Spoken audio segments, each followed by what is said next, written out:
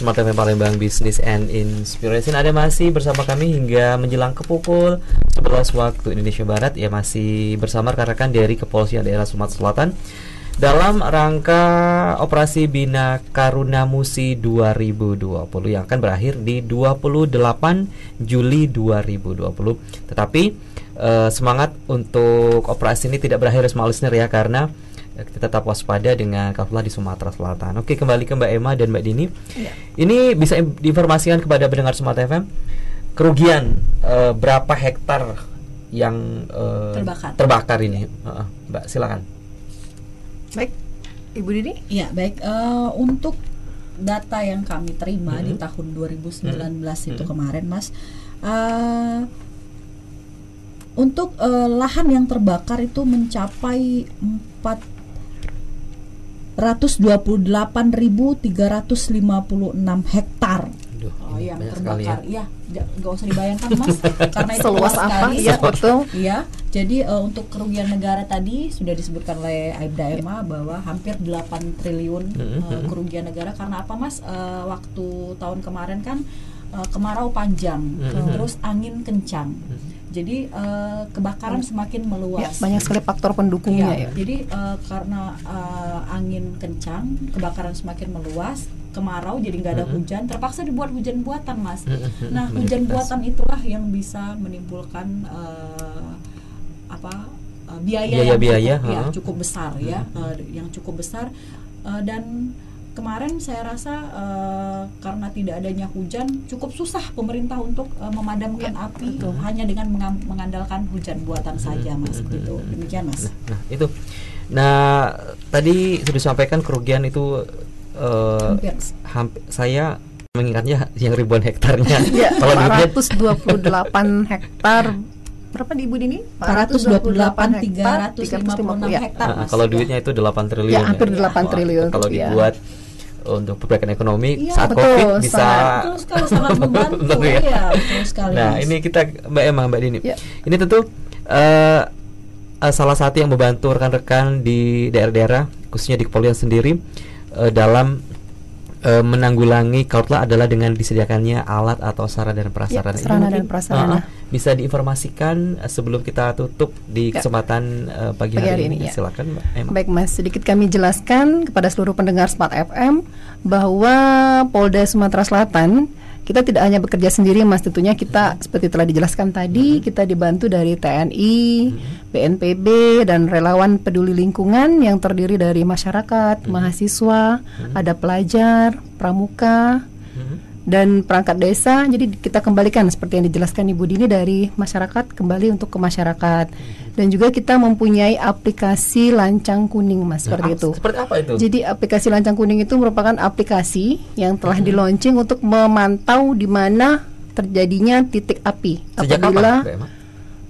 tahun 2020 iya, iya, ya, sudah sudah di sudah di launching gitu ya, mas. Ya, Setiap orang jadi bisa download. Boleh, boleh, boleh bisa kita download di situ di Android ataupun smartphone yang, lain ya hmm. di Play Store aplikasinya lancang kuning seperti itu mas hmm. nanti kita bisa masuk sebagai relawan hmm. ya ada admin yang memonitor di sana petugas dari polisian BNPB seperti itu mas hmm. dan juga kita memiliki squadron hmm, seperti ya itu? untuk memantau titik api di 10 kabupaten yang rawan, rawan titik ya? api tadi hmm. ya ada 10 squadron ya dan juga kita telah ada 1369 motor Babin Kamtipmas. 1369 motor Babin Kamtipmas ya, yang, yang ada ya, ya di seluruh jajaran Polda Sumatera Selatan. Ya. Jadi motor tersebut sampai ke tingkat Polres dan Polsek hmm. dan motor tersebut sudah dimodifikasi ya. dilengkapi dengan mesin penyemprot air, Mas. Ya. Jadi oh. sewaktu-waktu apabila ada laporan dari masyarakat, penduduk setempat yang melihat titik api bisa langsung menginformasikan ke Babin Kamtipmasnya, nanti mereka langsung membawa motor beserta peralatannya. Cukup tinggal mengambil di mana ada sumber ya, air, sumber air mm -hmm. bisa langsung diisi mm -hmm. di kendaraannya bisa dan bisa langsung membawa kalau sepeda motor kan bisa lebih cepat ya? mencapai tempat ah. dan tujuannya mas jadi walaupun dia di jalan-jalan kecil ah, seperti itu tetap bisa terjangkau ya, betul sekali ya samping itu juga kita ada mobil water cannon mas mm -hmm. ada mobil water cannon juga ada unit helikopter dari Mabes Polri. Ya dari BKO Bahar Kampolri Ya, seperti ya. itu memang di standby kan di Polda Sumatera Selatan. Ini helikopternya bisa membawa uh, waterboom itu? Bukan? Bisa, Uh-uh. bisa tidak hanya untuk membawa Karena- petugas yang akan memantau, Uh-uh. juga bisa diperbantukan untuk membawa bambi bucket itu mas, Uh-uh. waterbombing, Uh-uh, ya waterbombing. seperti itu. Seperti itu. Wah ini Ya banyak sekali prasarana, prasarana dan sarana yang kita miliki, tapi tentunya uh, yang akan ya, Ya, lebih banyak lagi di, Di BNPB, BNPB, ya betul. seperti itu mas. Mereka memang Jadi apabila terjadi yang kebakarannya yang besar, Mhm, tentunya kita akan meminta bantuan ke instansi samping. Hmm, ya, seperti itu. Nah, ya, Mas. Ini tentunya dengan eh, apa namanya eh, sarana dan prasarana yang dimiliki oleh Kepolisian Daerah Sumatera Selatan, kita ya berharap bisa saling bersinergi ya Betul. dengan masyarakat sekitar eh, dalam eh, ya kita harap jangan ada lah ya di jangan tahun sampai, ini ya. Mas, iya. Eh, Nah, ini sebagai terakhir sebagai penutup kita di kesempatan di hari ini apa sih yang eh, bisa rekan-rekan dari Kepolisian Daerah Sumatera Selatan eh, eh, sampaikan kepada pendengar Sumatera FM di pagi hari ini. Dimulai dari Boleh? Ya, Jadi, baik. silakan. sebelumnya, ka- izinkan kami menyelipkan sedikit, Mas. Tetap himbauan kepada seluruh pendengar Smart FM, pendengar tercinta Radio Smart FM, di mana pun berada, khususnya warga Sumatera Selatan, Kota Palembang, Ya, untuk sekali. tetap mematuhi protokol kesehatan, Mas. Ya, saat ini kita sedang memasuki di adaptasi kebiasaan Kebiasaan baru. baru. Jadi kita jangan lengah, jangan kita kira Corona COVID-19 sudah tidak ada ya dengan semua sarana ekonomi, tempat rekreasi telah dibuka. Betul ya, sekali, jangan Eden. kita lupa. Jadi kita melupakan protokol kesehatan. Ya, bisa dijelaskan Ibu Dini apa saja Ya, protokol karena- kesehatannya? Ya, karena kan sekarang ini kan eh, mall-mall sudah dibuka, Hmm. Mas. Iya. Eh, terus eh, bisnis sudah dibuka, perekonomian juga sudah lancar. Jadi masyarakat ini sepertinya eh, yang kita senang lihat ya. iya, Ya, Euforia. iya betul. Setelah Dengan- berbulan-bulan Iya dengan keadaan Di rumah, yang iya. ada setelah berbulan-bulan di rumah terus keluar ini eh, mungkin masyarakat mengira dan eh, saya juga eh, mendengar kita kan hidup bersosialisasi Betul. dengan masyarakat sekitar mas. Banyak yang bilang bahwa corona ini eh, atau covid 19 ini udah nggak ada lagi katanya. Karena semuanya sudah eh, kembali normal, Normal, iya. Terlihat jadi, iya, normal, iya, betul. jadi masyarakat belum. terlena jadi banyak yang sudah keluar tanpa menggunakan masker. Saya lihat di luar sana mereka juga mengabaikan protokol kesehatan. Jadi s- kita eh, ingin menegaskan kembali protokol kesehatan itu seperti apa. Yang pertama itu gunakanlah masker. Yang kedua itu cucilah sering mencuci Iya, tangan, tangan atau menggunakan hand Sanitizer. sanitizer. Yang ketiga, jaga jarak, Jaga jarak. Hindari Ya, keramaian. dan juga hindari keramaian, Mas ya. Jadi kalau nggak begitu penting untuk keluar rumah, nggak usah keluar rumah, Dan, apalagi ya. ke mall, ke tempat-tempat yang lain. tentunya yang- tetap harus kita berolahraga mas Iya, untuk menaikkan vitamin, stamina imun dan ya. imun Iya, ya betul betul. sekali. Nah, untuk Jadi kembali ke ya, ya sendiri. betul. Iya, kita balik lagi. Ya untuk masyarakat Sumatera Selatan kita menghimbau tidak henti-hentinya mengajak, menghimbau, ayo, payo, mamang, bibi, mangce, bice, warga. Palembang, dulur-dulur kita semua seperti slogan polisi dulur kita. PDK. Ayo kita sama-sama peduli sadar betapa bahayanya kerusakan lingkungan, Mas.